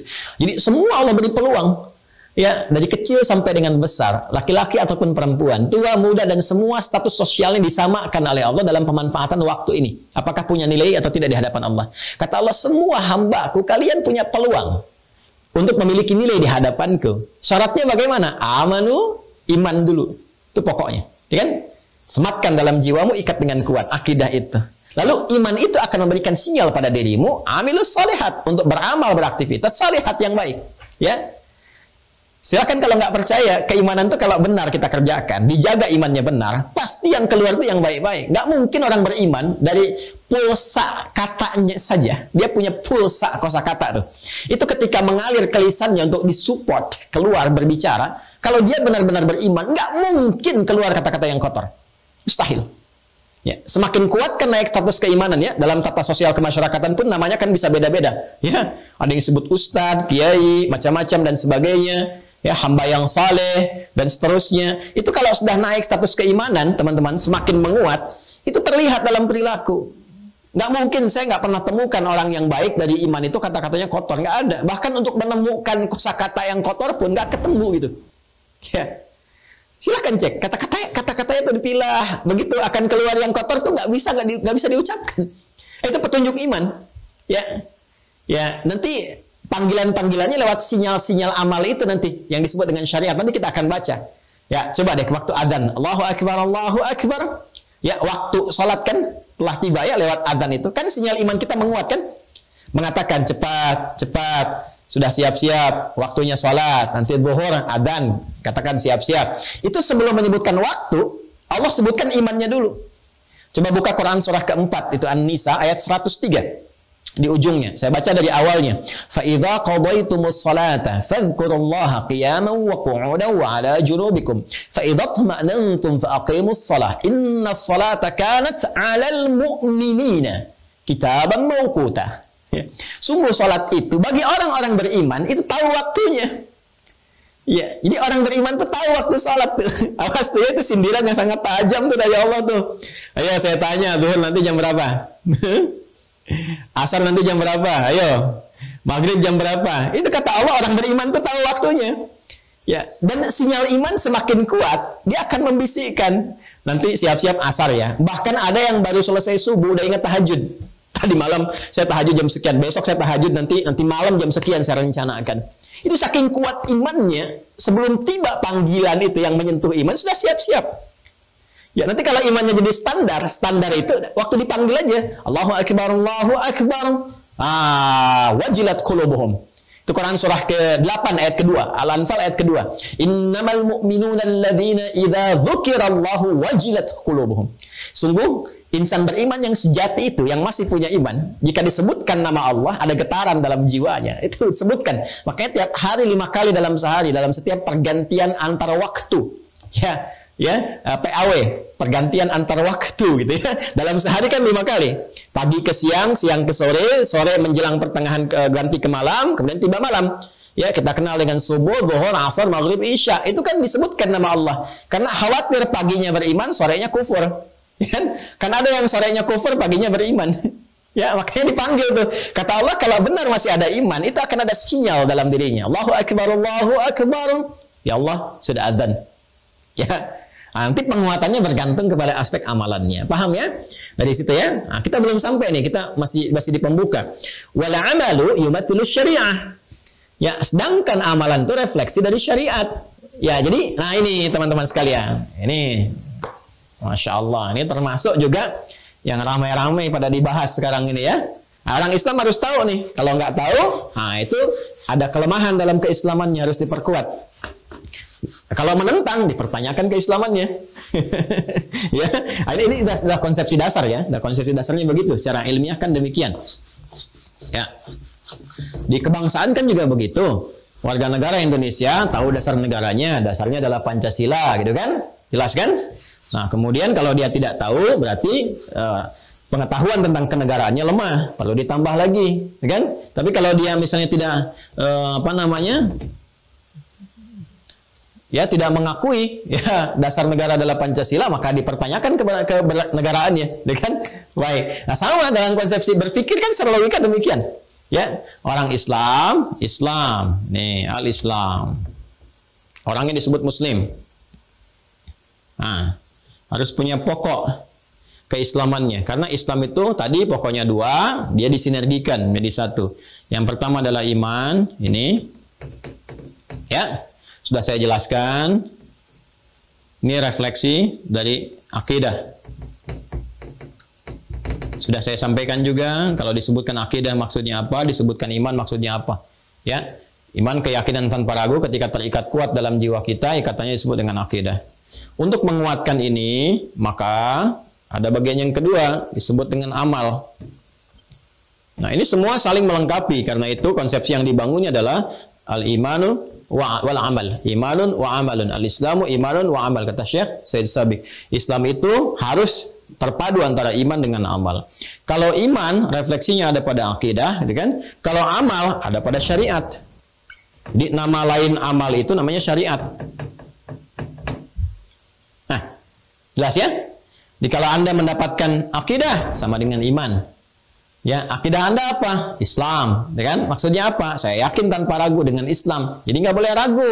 Kalau ragu dipertanyakan keislamannya. Jelas ya? Makanya petunjuk pertama dalam Al-Quran ketika berinteraksi dengan pedoman keislaman di Al-Quran nggak boleh ragu.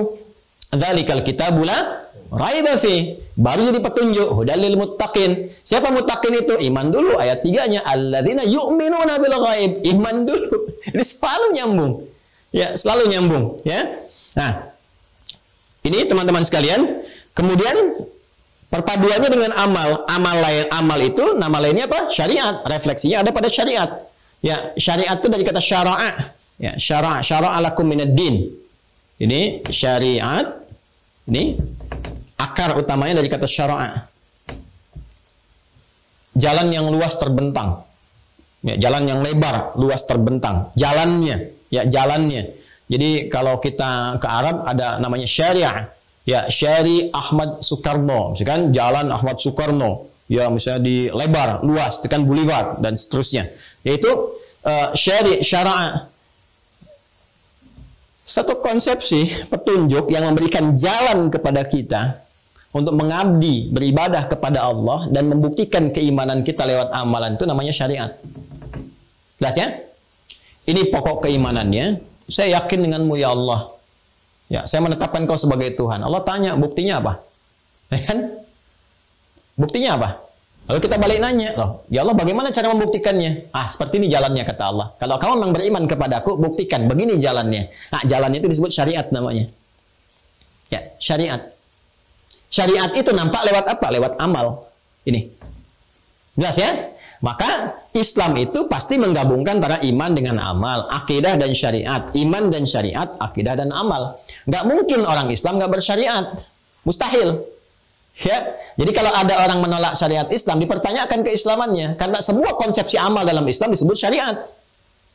Disebut syariat. Jadi semua pembuktian keimanan kita itu kepada Allah disebutnya syariat pembuktiannya. Ya, syara'alakum minad din. Allah memberikan syariat dalam setiap konsepsi agama di setiap masa. Ini cara pembuktiannya jalannya seperti ini. Nah, karena itu nanti ketika kita gabungkan ini teman-teman sekalian, iman dengan amal, konsepsi keyakinan dengan syariat, maka akan nampaklah dalam pokok keislaman kita. Apa pokok keislaman kita itu? Ketika kita ikrarkan, ya saya saya saya mengatakan ya Allah saya komitmen, saya bersaksi ya Allah, saya ini muslim, saya menuhankan Engkau ya Allah. Saya beriman kepadamu dan saya komitmen akan menjalankan jalan-jalan syariat, jalan-jalan mengabdi kepadamu. Ya tunjukkan kepada saya ya Allah bagaimana saya melakukannya. Maka Allah infokan, Allah sampaikan kepada kita, ya. Uh, terangkan misalnya dalam Al-Qur'an, Quran surah ke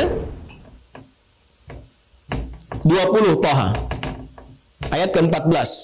Ya. Ini bahkan disampaikan kepada nabi-nabi sebelumnya konsepsi dasar ini, ya. Ini ini kisah kepada Nabi Musa alaihissalam. Nanti Isa alaihissalam juga demikian. Ya Ibrahim demikian, Nuh alaihissalam juga demikian, Ismail demikian. Semua nabi-nabi itu konsepsi dasarnya sama semua, membawa risalah yang sama di akidah, walaupun secara syariat nanti jalan-jalannya sesuai dengan masanya. Ya, nanti kan cara sholat kita akan berbeda dengan sholat-sholat sebelum kita, ya dan sebagainya, sesuai dengan kebutuhan masa-masanya. Ya, tapi akidahnya sama, serupa, jalannya juga disesuaikan dengan keadaan umatnya masing-masing, tapi konsepsi yang sama menuju kepada Allah Subhanahu wa taala. Perhatikan kalimatnya. Innani anallah, la ilaha illa ana. Nih, konsepsi iman yang pertama. Untuk menetapkan engkau beriman, ya, engkau menyaksikan berkomitmen dengan baik, ya, Ya, maka engkau katakan la ilaha illallah. Innani anallah, la ilaha illa ana. La ilaha illallah. Hmm. Innani anallah, kata Allah sungguh akulah Allah. Tanpa ragu sedikit pun. La ilaha illa ana, enggak ada Tuhan selain aku. Fa'budni.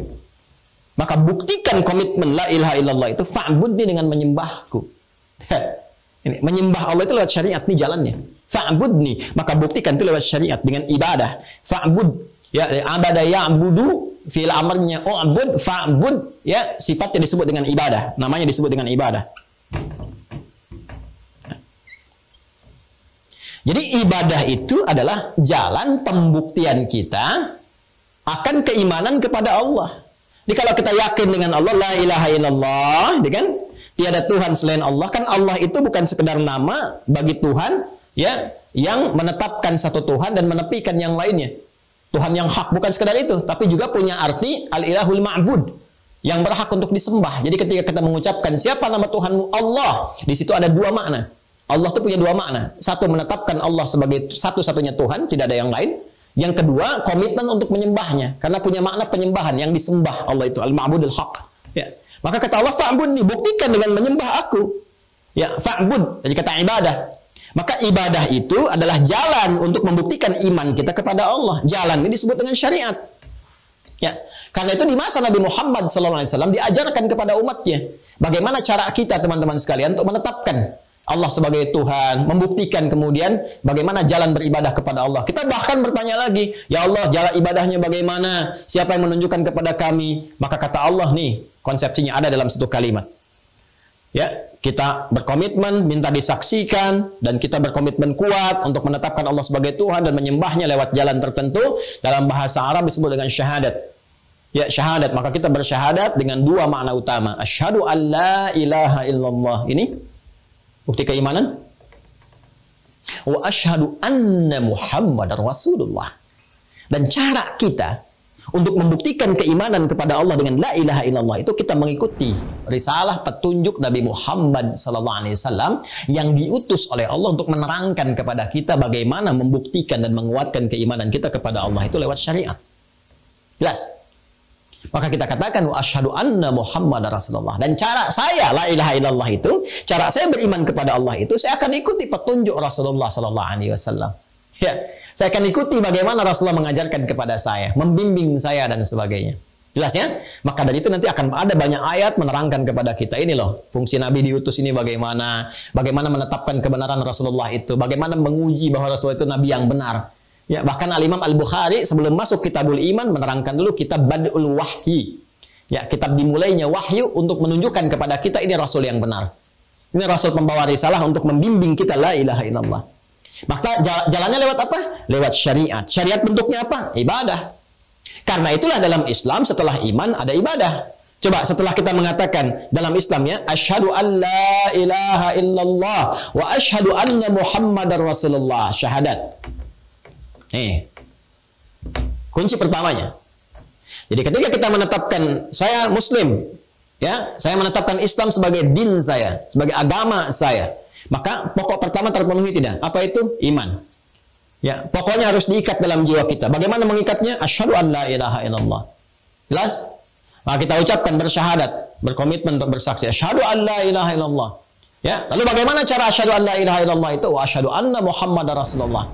Ya, saya minta dibimbing ya Allah. Saya turunkan Rasul. Saya pilih Nabi. Silahkan dibimbing lewat Nabi ini, Rasul yang mulia ini. Begini caranya berislam dengan baik. Maka Nabi memberikan jalan kepada kita. Jalan itu disebut dengan syariat. Syariat itu membimbing kita untuk ibadah karena perintah syariat itu isinya ibadah. Ya, innani anallahu kembali ke Quran surah 20 ayat 14, innani anallahu la ilaha illa ana fa'budni. Ya, sembah aku.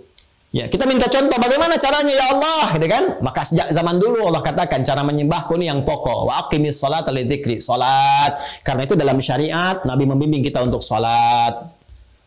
Ya, ada yang terkait harta supaya jadi ibadah, supaya punya nilai, jadi amal soleh, ada zakat konsepsinya. Ya kan? Ada siam, puasa, yang pokok-pokok. Ada haji dan umrah. Ya. Tuh lihat.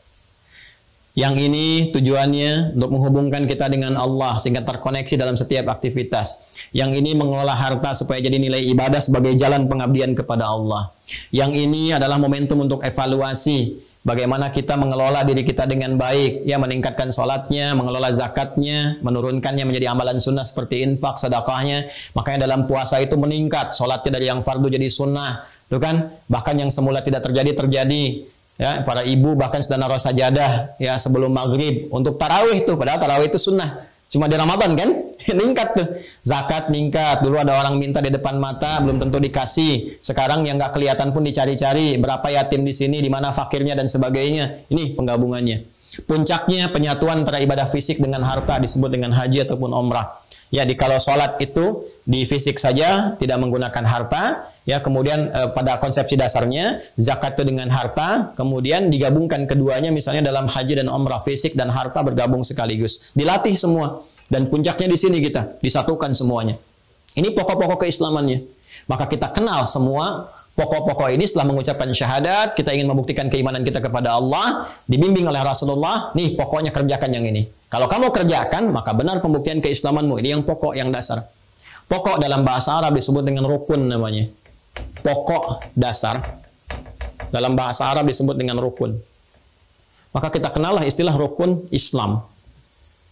Ya. Nah kalau ditanya rukun Islam ada berapa? Ada lima kan? Coba lihat. Lima kan? Pertama apa? Syahadatin. Syahadu an la ilaha illallah wa syahadu anna Muhammad Rasulullah. Refleksi apa itu? La ilaha illallah itu. Syahadu an la ilaha illallah. Refleksi iman. Pokoknya ini. Ini dasarnya ini yang paling utama nih. Ya, jadi kalau anda kerjakan sholat, zakat, puasa, haji, nggak ada iman, nggak ada nilai. Kan ini pokok dasarnya. Ya, kemudian setelah kita bersyahadat, bagaimana jalan pembuktian syahadat kita dianggap benar oleh Allah? Ya, lewat syariat, jalannya disebut dengan syariat. Ya, makanya muncul istilah syariat Islam. Apa bentuk syariat Islam itu? Ada yang pokok, yang rukun. Ya, sebagai pengabdian langsung kita kepada Allah. Apa yang pokok-pokok itu? Ini salat. Makanya semua risalah keislaman dari awal sampai dengan Nabi Muhammad SAW sampai kita sekarang, ini yang pokok ini nggak lepas. Silahkan cek. Nabi-nabi sebelum kita juga, sebelum Nabi Muhammad juga, ya sebelum Nabi kita, saya katakan tadi, Nabi-nabi sebelum Nabi kita itu Nabi Muhammad SAW, semua punya risalah salat. Nabi Isa salat, Salat beliau Quran surah ke-19 Maryam ayat 31 sampai 33. Nabi Musa salat Quran surah 20 Toha ayat ke-14. Ya, Nabi Ismail salat, bahkan minta keluarganya salat. Wa kana ya'muru ahlahu bis salat. Quran surah 19 Maryam ayat 55. Nabi Zakaria salat, bahkan meminta keturunan kepada Allah lewat salat di mihrabnya Maryam alaihissalam. Quran surah ketiga Al Imran di ayat 38 sampai dengan ayat 39. Ini salat itu sudah ada konsepsinya untuk mendekat kepada Allah. Cuma nanti syariat tata cara pelaksanaannya disesuaikan dengan keadaan uh, zaman masing-masing. Ya, ada zakat itu sudah ada, zakat haji sudah ada dari dulu, puasa ada. Kan anda kenal istilah puasa Nabi Daud kan? Nabi Isa puasa, Nabi Musa juga puasa. Silahkan ada semuanya. Ya, cuman kan kesesuaiannya dengan masa umat masing-masing. Jumlah rakaatnya, uh, waktunya umat Nabi Musa kan beda dengan kita, dengan ya nilai dan kualitasnya juga berbeda. Ya, tergantung keadaan umat, maka disesuaikan. Cuman pokoknya ada, syariatnya ada, jalannya ada. Jadi kalau kita berkata, syariat dalam berislam itu pokoknya apa? Ini yang lima. Ini yang disebut syariat Islam. Jadi kalau ada orang mengatakan, saya muslim, tapi saya merasa tidak wajib menjalankan syariat Islam, dipertanyakan keislamannya. Ya. Anda sebetulnya muslim atau tidak gitu. Ya kan? Nah ini ini ini dasar. Jadi kalau yang paling dasar saja ya tidak bisa dipahami dengan baik, maka ini menunjukkan kelemahan dan kita doakan gitu kan. Kita doakan semoga uh, bisa belajar, dapat hidayah, mau menjemput kebaikan dan sebagainya. Dan cara paling utama meninggalkan maksiat karena taat lawannya maksiat. Jadi kalau maksiat masih dikerjakan terus, ya susah ketutup pintu-pintu taatnya nanti.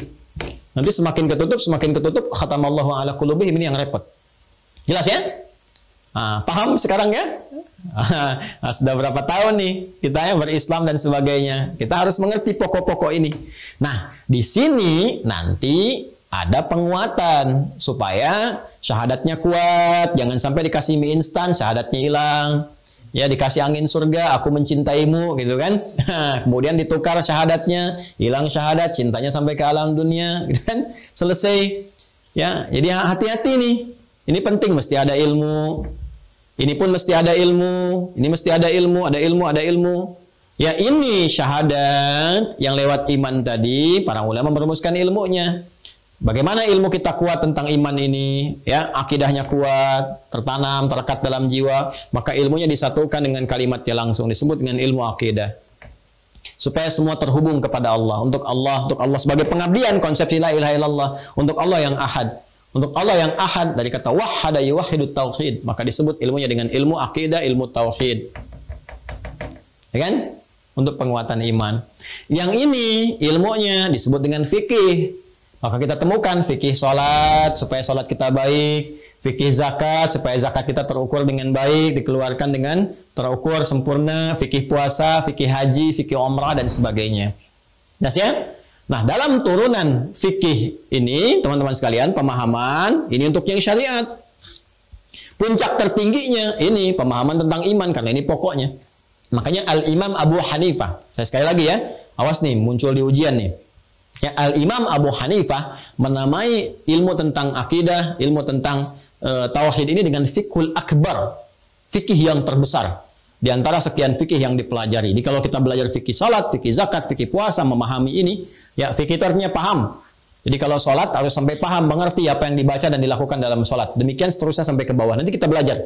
Insya Allah kita belajar. Ya, nanti pemahaman tentang syahadat ada ilmunya, ilmu tauhid, Ya, dasarnya juga ada, nanti dalil Qurannya ada. Ilmu tentang syariat disebut dengan fikih namanya. Jelas sampai sini? Nah, pokok pertama, dasar pertama dalam ilmu tauhid adalah memahami atau mengerti tentang dasar-dasar keimanan. Ya, karena kalau kita imannya ingin kuat, akidahnya ingin kuat, seperti halnya keislaman kita punya pokok, punya rukun, iman pun punya pokok, punya rukun. Nah, inilah pokok-pokok yang akan menenun akidah simpul-simpul akidah itu ada pada pokok ini. Jadi kalau kita simpulnya nggak kuat, nanti talinya lemah. Ya, alih-alih urwatul wufqalan fisamalaha, ya, jadi tidak kuat nanti. Ya, jadi yang tadinya in harusnya infilan fisamalaha jadi infisol terpecah, terpecah. Ya, yang harusnya mutasil, ya jadi munfasil. Yang harusnya mengikat jadi terlepas. Ini yang bahaya. Maka simpul ini mesti kita rangkai dengan kuat. Kita jalin ikatannya, yang ikatannya menenun pada jiwa kita dan nanti terefleksikan dalam setiap perilaku kita. Maka kalau iman kita ingin kuat, ya, kemudian dari iman ini memberikan imun kepada amal kita, maka kita harus perkuat pokoknya, perkuat dasarnya. Di sini muncul materi dasar-dasar keimanan atau pokok-pokok iman. Mengerti sampai sini? Nah, materinya belum kita bahas. Ini baru mau mukadimah. Jadi saya ingin ingin uh, menanamkan betul dalam jiwa kita kita mengerti kenapa sih harus belajar ini. Jadi saya tidak ingin uh, kita menghafal. Kalau menghafal, anak saya yang kecil pun saya ajari udah hafal tuh. ya anak dua tahun kan kalau kita bilang, ah, nek, nak rukun iman. Ya iman kepada Allah, iman kepada malaikat, iman kepada kita, iman kepada Rasul, iman kepada hari kiamat, iman kepada qadar dan qadar. Hafal. Lantas apa bedanya balik kita dengan anak-anak kita? Bahkan beliau saya si Soleh kalau diajari itu juga bisa. Soleh, iman pertama apa? Allah, Allah. Assalamualaikum, Assalamualaikum. Jadi kalau kita mengatakan beriman, eh, beliau pun bisa menghafal gitu. Ya, jadi saya ingin uh, ini kita pahami betul supaya konsepsi ini mengikat pada jiwa kita dengan kuat sehingga bisa terefleksikan dalam kehidupan kita. Jelas ya?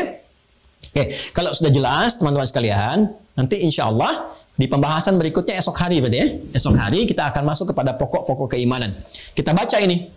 Ya, ini ada juga di sini. Nanti kita teruskan. Jadi saya ingin kitabnya ada dengan referensinya dibaca, kalian turunannya saya uraikan. Nanti kita gabungkan dengan kitab-kitab lain karena tidak semua ada di satu kitab. Ya biasanya saya gabungkan beberapa kitab, saya satukan, lalu saya ambil intisarinya seperti apa. Nanti insya Allah kita ya, jadikan satu intisari pokok pembahasan. Nih teman-teman bisa baca ulang ya baca ulang baca ulang nanti pas ujian juga mudah gitu ya nah, kemudian selanjutnya di kitab ini diterangkan uh, dalil-dalilnya. Ya. Wal iman wal amal aw al aqidah wal syariah kilahum murtabitun bil akhir irtibat al bil ashjar. Sedangkan iman dan amal itu mohon izin saya bacakan kitabnya dengan cepat. Iman dan amal itu atau akidah dan syariah keduanya terikat terkoneksikan satu dengan yang lainnya dengan ikatan yang sangat kuat seperti kaitan antara buah dengan pohonnya jadi kalau pohon tak berbuah kan kelihatan seperti tidak ada nilainya gitu kan. Ya kemudian juga uh, ada pohon nggak ada buah yang dipertanyakan, gitu kan? Makanya orang Arab uh, mengatakan al ilmu bila bila amalin kasyajari bila samarin. Ilmu yang tidak diamalkan ibarat pohon tanpa buah, begitu berharganya gitu kan uh, keterikatan antara pohon dengan buah itu. Al-irtibatul musabbabat bil asbab atau keterikatan antara sebab dengan akibat. Ya nggak mungkin ada akibat kalau nggak ada sebab, nggak mungkin ada sebab kalau nggak ada akibat. Ya, jadi kalau ada sebab dengan akibat itu seperti keterikatan iman dengan amal.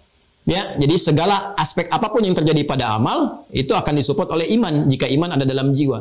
Jadi kalau iman nggak ada dalam jiwa, amal tidak punya nilai, ya. Wan nataij dan seperti halnya hasil dan pendahuluan. Wa min ajli hadha tarabutul wathiq ya'ti ila amal muqtarinan bil iman fi aktsari ayatil Qur'anil Karim. Karena keterikatan yang kuat inilah kemudian Allah menyampaikan keterikatan iman dan amal itu di banyak ayat dalam Al-Qur'an. Bahkan ya ayat pertama yang berbicara tentang surga pun kunci surganya itu diikat dengan iman dan amal. Yaitu di Al-Baqarah ayat 25 di sini dibuka dengan kalimat minasyaitonirrajim. Firman Allah Subhanahu wa taala wa ladzina amanu wa 'amilus salihati anna lahum jannatin tajri min tahtiha al-anhar silakan lihat ya di kunci kalimat surga pertama dalam Al-Quran itu pembukanya iman dan amal. Wabashiril ladzina amanu iman wa amilus salihat amal. Anna lahum jannatin tajri min tahtihal anhar. Bagi orang yang beriman dan dengan imannya dibimbing dia beramal saleh disiapkan baginya bentangan surga-surga yang beraneka ragam dengan segala jenis keindahannya. Kemudian juga firman Allah di Quran surah An-Nahl ayat 96, "Man 'amila salihan min dzakarin aw untha wa huwa mu'minun falanuhyiyannahu hayatan thayyibah wa lanajziyannahum ajrahum bi ahsani ma kanu ya'malun." Ya, dan siapa pun yang beriman kepada Allah lalu mengerjakan amal saleh. Ya, siapa yang mengerjakan amal saleh yang didasari dengan iman kepada Allah Subhanahu wa taala, baik laki-laki atau perempuan. Dasarnya iman wa huwa mu'min. Nah, ini ini ada rahasia besar di sini ya, teman-teman. Nanti kita akan kuatkan dengan hadis. Karena kalau kita belajar benar, penguatan hadis dampaknya besar sekali. Ya, kata Allah begini, ini sindiran tajam ya buat saya, buat Anda, buat kita semua. Kata Allah, "Falanuhyiyannahu hayatan thayyibah." Kami akan beri, berikan kehidupan yang baik. Ya, jadi terisi kehidupannya itu dengan segala hal yang baik, hayatan thayyibah. Jadi orang beriman itu hidupnya pasti akan baik pekerjaannya baik, perilakunya baik, hartanya baik, ya segalanya berjalan baik. Nah, jadi kalau ada sesuatu yang belum baik dalam kehidupan kita, nah, boleh jadi kita perlu penguatan-penguatan di aspek keimanan. Ya, mungkin yang salah bukan hartanya yang kurang, bukan kedudukannya yang belum tinggi, mungkin imannya yang belum kita kuatkan. Karena Allah sudah berjanji dan janji Allah itu hak. Inna Allah la yukhliful mi'ad. Allah nggak mungkin menyalahi janji. Ya manusia bisa berjanji, bisa mengingkari. Oh ya, Kau yang mulai, kau yang mengakhiri. Kau yang berjanji, kau yang mengingkari. Tapi kalau Allah sudah berjanji, nggak mungkin diingkari. Ya Quran surah ketiga Al Imran ayat 9. Inna Allah la yukhliful mi'ad. Allah nggak mungkin mengingkari janji. Jadi nanti kita akan kuatkan dengan pendekatan Sahih Al-Bukhari. Ada 57 hadis kitabul iman namanya. Ya. Kemudian walana walana jaziyannahum uh, ajrahum bi ahsani ma kanu ya'malun. Kami akan balas di akhirat karena iman mereka itu ya amal solehnya dengan pahala yang lebih baik dari apa yang mereka pernah kerjakan di dunia ini. Jadi dikasih bonus di dunia ini dengan kehidupan yang baik, di akhirat diberikan pahala limpahannya. Ya, demikian juga ayat-ayat yang lainnya teman-teman sekalian termasuk di surat Maryam ayat 96 juga innalladzina amanu wa amilus solihati sayaj'alu lahumur rahmanu wadda ya sungguh orang-orang yang beriman dan beramal soleh itu akan dijadikan oleh Allah yang Maha Pengasih itu ya tertanam dalam jiwanya rasa kasih yang sangat dalam. Jadi masya Allah tuh orang beriman itu pasti pengasih, pasti penuh dengan kasih sayang, gitu kan? Penuh dengan simpati, toleransi yang baik. Orang beriman itu hidupnya baik. Jadi cukuplah orang beriman itu pasti jadi orang baik. Jadi kalau ada orang beriman mengaku iman kurang baik, kasar, kata-katanya kasar, perilakunya kasar, gitu kan? Bergaulnya tidak baik. Dipertanyakan keimanannya. Ayo mana istri yang beriman, suami yang beriman, anak yang beriman, tetangga yang beriman, karyawan yang beriman. Awas hati-hati ya, jangan sampai belajar dengan saya, bergaul dengan teman jadi nggak baik, kata-katanya kasar, senang mencela, ya memfonis satu dengan yang lainnya. Ya, itu mohon maaf ada sesuatu yang salah dalam pembelajaran. Ya, imma pemahaman antum salah atau saya mengajarkan yang tidak tepat memberikan pemahamannya. Ya, ya, kita sama-sama mengoreksi diri ya. Jadi kalau belajar dengan baik, beriman, pasti tumbuh kelembutan, kebaikan. Silahkan cek siapa pun yang belajar dengan Rasulullah, itu semua akan jadi orang baik. Saya belum pernah e, melihat ada sahabat belajar dengan Nabi, tiba-tiba menjadi pencela, ya, tiba-tiba jadi perusak, tiba-tiba menjadi e, tukang bikin hoax dan sebagainya. Jadi kita e, tantangannya ini sangat kompleks. Kita beristighfar, mudah-mudahan Allah bimbing kita semua dalam hal kebaikan. Nah ini, alhamdulillah satu halaman nih teman-teman sekalian. Satu halaman uh, kurang lebih 3 SKS. saya, saya belajar di Tipoli ini cukup lama nih dua tiga pertemuan saya jadikan uh, satu pertemuan satu jam setengah ya. Semoga Allah berikan kemuliaan untuk kita semua. Semoga Allah berikan bimbingan kepada kita, memaafkan kesalahan kita, mengampuni dosa-dosa kita. Saya memohon maaf sebesar-besarnya kalau ada yang kurang berkenan dalam penyampaian. Kalau ada yang benar, itu pasti uh, petunjuk dari Allah dan bimbingan dari Rasulullah SAW. Tapi kalau ada yang salah, itu mutlak dari kesalahan saya pribadi. Eh, silahkan teman-teman bisa berikan masukan untuk saya koreksi, saya perbaiki, dan juga bisa mengambil manfaat dari ustaz-ustaz lain yang mengajar kita dalam keseharian kita. Demikian, semoga bermanfaat. Allahumma taqabbal minna innaka antas sami'ul alim wa tub alaina innaka antat tawwabur rahim. Allahumma 'allimna ma yanfa'una wa wafiqna ya Allah bima fahimna wa 'allimna ya Allah wa 'allimna ya Allah wa 'allimna ya Allah ma 'amilnahu bih wa wafiqna lin'amala ma fahimnahu. Allahumma wa sallallahu ala sayyidina Muhammad wa ala alihi wa sahbihi ajma'in. Allahumma ij'alna min ahli al-Qur'an wa jalil al-Qur'ana sahiban lana fid dunya wa syafi'an lana fil akhirati ya arhamar rahimin. Rabbana atina fid dunya hasanah wa fil akhirati hasanah wa qina adhaban nar. Bifadlika subhana rabbika rabbil izzati amma yasifun wa salamun alal mursalin wa akhiru da'wana subhanakallahumma bihamdika nashhadu an la ilaha illa anta nastaghfiruka wa natubu ilaik walhamdulillahi rabbil alamin. Assalamualaikum